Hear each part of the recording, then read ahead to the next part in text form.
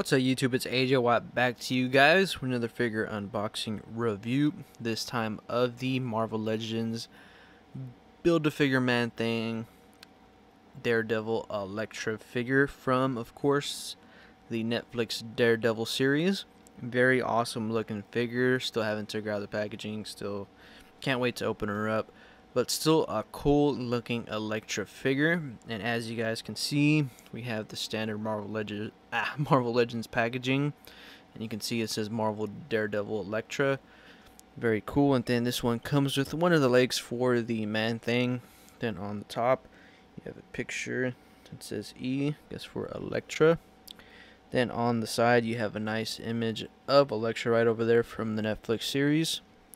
Then on the back, you have a nice uh, product shot of Elektra as well as the man thing and the rest of the figures in the wave. Then a nice uh, little bio of Elektra right over there on the top right corner. So now that we got packaging out of the way let's go ahead and open up Elektra. And so here I have the Netflix Elektra out of the packaging. Looking awesome only have just two gripes with this figure and we'll get into that after we check out the accessories.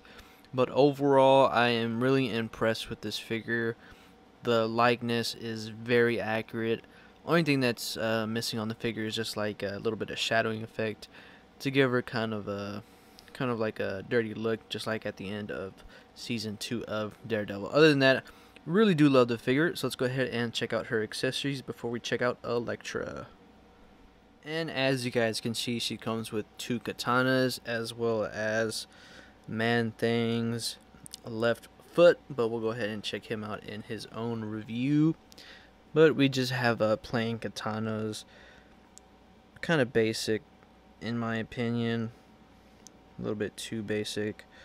There we go. You can see the little uh, kind of the line effects going throughout over here on the handle not very sharp and then the plastic is kind of uh kind of too bendy right over here where the blades where the blades are.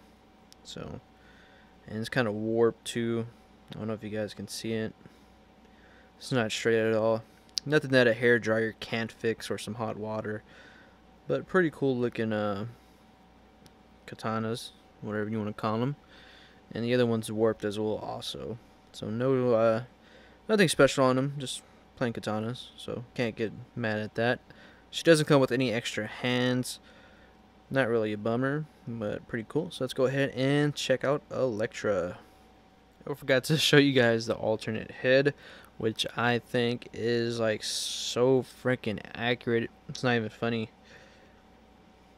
starting to get on like the Mezco Hot Toys level what Hasbro's doing right now. Only thing they have to fix is body mold. Stop reusing the same body over and over again. But this face sculpt is phenomenal. It really looks just like Elektra from the Daredevil series. The ears look nice. The hair is done awesome. It looks just like her, which is cool.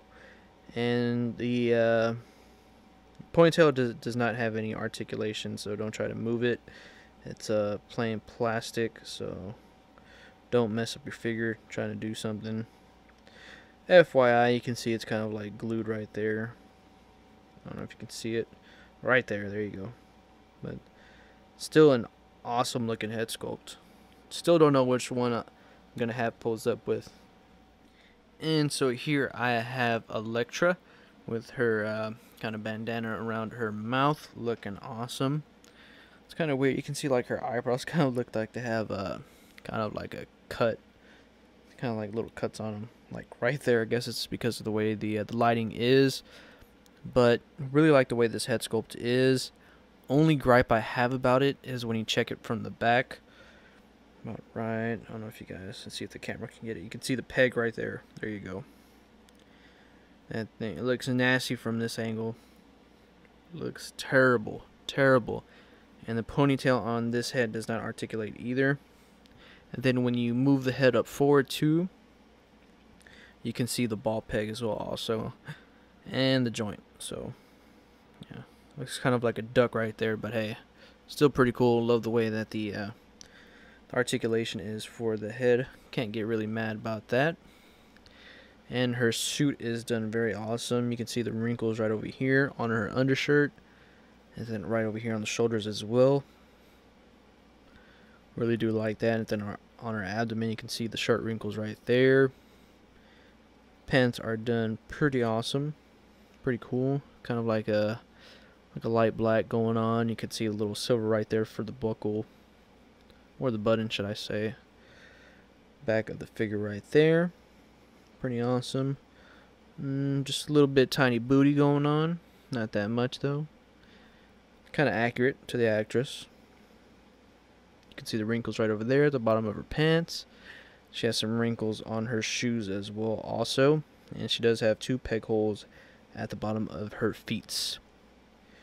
Then her gloves are done very nicely. You can see she has like this uh, weird katana hand going on. Let's see if I can focus on it. There you go. It's kind of done very weird. Kind of had to hold it at a weird angle. And then this one's to kind of hold it normally with the handle. And then the other gripe I have about it is I think the way the arms are. I think the arms are a little bit too kind of muscular at this angle right over here. Because I know I've seen the the series a couple times and her arms do not look this this big. She's kind of like a kind of a slim woman, so I think that's not accurate. But when you kind of put the arms down, it kind of hides it just a little bit from the side, just a tiny bit. But I, I don't believe she's that that buff though. Like I said, she's a slim woman, very pretty but very slim. Let's go ahead and check out Elektra's articulation. Alright, so for Elektra's articulation, her head can look down, very good, as well as look up, awesome. But you do get that nasty kind of look going on right there. Her head pivots left and right, and she also rotates left and right. Arms fully rotate, go outwards that much, no bicep swivel has a single bend at the elbow. That goes about that much right there. Has a swivel at the elbow. Hands fully rotate and hinge down and up. Has an awesome diaphragm joint, just like uh, Jessica Jones, that helps her pivot left and right, as well as a little bit forward, but then you get gappage right there. Right there. And then she moves back as well, also. And you get also a little gap right there also. No uh, waist rotation right over here. Can do the splits about that much. Legs kick up that much. No, not that much back at all. Upper thigh swivel, double jointed knees. That move awesome. And her feet hinge down and up. And she does have ankle pivots. So good articulation. Love the way the uh, the diaphragm joint is on this figure. Only bad thing is it's just uh, the gapping that you get from the front and back. And in case you guys wanted to see, here I have Elektra with her alternate head sculpt. Looking pretty darn cool. And here I have Elektra next to Gamora, and Elektra stands taller than Gamora. Which is pretty, I don't know if that's accurate, but hey, it is what it is. Then here she is next to Gamora. And she stands taller than Gam not a Gamora Nebula. She stands taller than Nebula. I'm tripping right now. And here we have her next to Jessica Jones, and she stands just a little bit taller than Jessica Jones. And then here I have Elektra next to my favorite Marvel Legends figure, the Juggernaut series Wolverine, and of course Elektra stands taller than Logan. And here I have Elektra all posed up for you guys, and I would recommend the figure. The figure is freaking awesome. Love the way the uh, the katanas, kind of the way the hands are, so you can have them in like multiple poses, not just like a plain, kind of just like holding just a regular katana or a sword really do like the way the options are. Like I said, the only gripes I probably have is probably the way the uh, the ponytail is. In case you want to put her like in a like have her head go sideways and the ponytail kind of gets in the way and the shoulders. Probably the only other gripe that I have. Other than that, figure is done awesome. Really do recommend it. Anyways, guys, thanks for watching my videos. If you guys like my video, go ahead and thumbs up and also subscribe.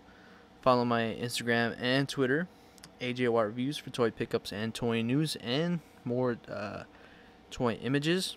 Once again, guys, thanks for watching, and you guys have a great week.